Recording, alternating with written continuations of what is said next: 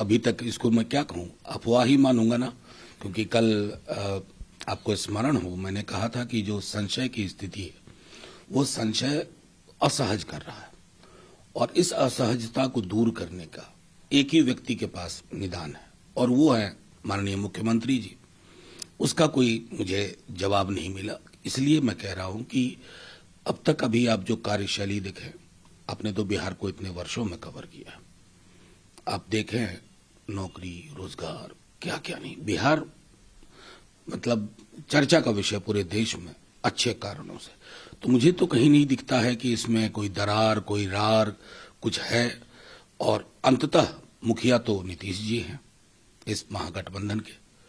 कई चीज़ें हैं, बुनियाद उन्होंने, तेजस्वी जी ने और लालू जी ने मिलकर रखी थी। उस बुनियाद की ईट थी कि मोदी जी की जो घृणा और नफरत की राजनीति है उसके मुकाबले एक लोकोन्मुख राजनीति का की पौध लगाई जाए। वो लगा दी। वो फूल रहा है फल रहा है। सुशील मोदी कहते हैं कि पॉलिटिक्स में दरवाजे परमानेंटली बंद नहीं होते हैं। अब दरवाज़ा खोलने बंद करने की विधा के माहिर लोगों से मैं क्या कहूँ? मतलब कई बयान याद आते हैं सुशील मोदी जी के। मुझको लगता है ना कि पॉलिटिक्स में डिमेंशिया बहुत खतरनाक बीमारी है। डिमेंशिया जो है ना क्या क्या नहीं बुलवाती है क्या क्या नहीं करवाती है।